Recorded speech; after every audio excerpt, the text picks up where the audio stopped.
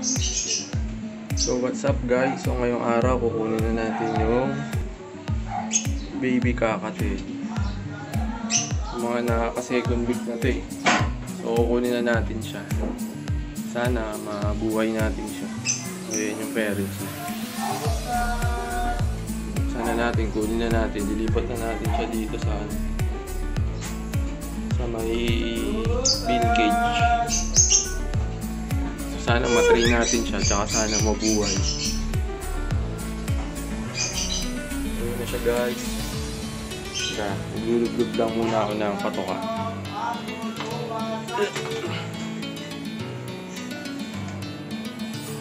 Para hindi mabugaw yung parents nila.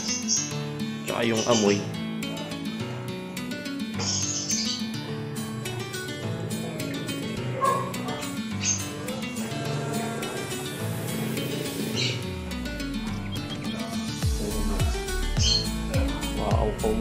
Para amoy patuha yung kamay natin. Tsaka hindi mabilago yung pera.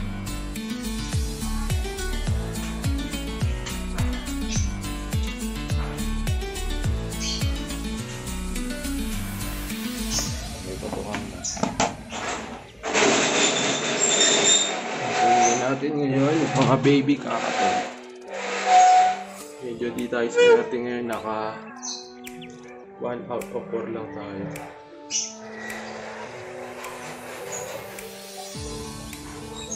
Ayan na siya guys. Na natin siya.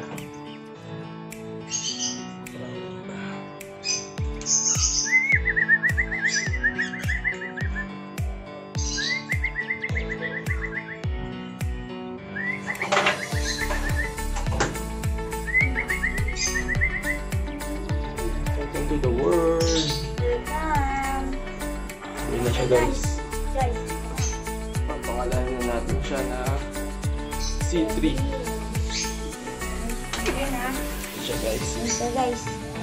So, pag di na siya busog, i Syringe na. sisiringe na natin siya, i-admit na natin siya. Sana mabuhay natin siya. Ah, yun natin yung pakakamay spray legs. Okay naman. So, yun lang guys. Mamaya na lang kapag ka i-admit na natin siya, mapakita namin sa video A few moments later. So, welcome back guys. So, ngayon, magtitimpla na tayo kapay.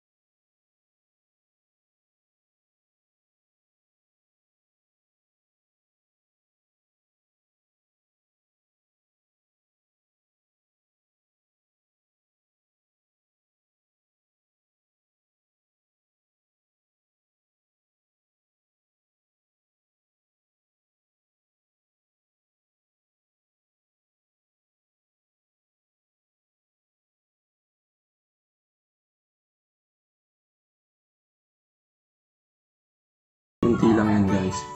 Tapos, hindi mo maiwasan, meron talagang mga tutulog. Yun yung anin mo, dapat yan siya. So, pwede nyo rin siya hawakan dito guys yan, para tumigil siya ng ano yan.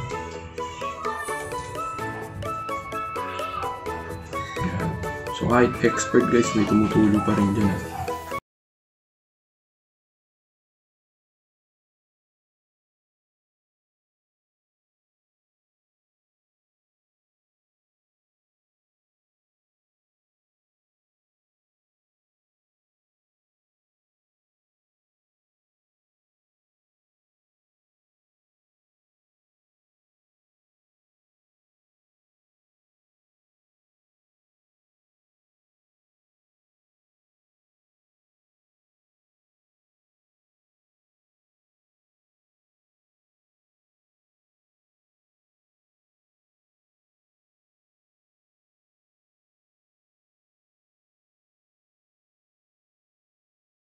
Ba talaga siya marunong sa syringe.